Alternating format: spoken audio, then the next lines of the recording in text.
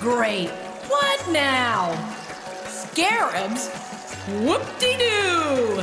Do your worst, you pathetic roach wannabes!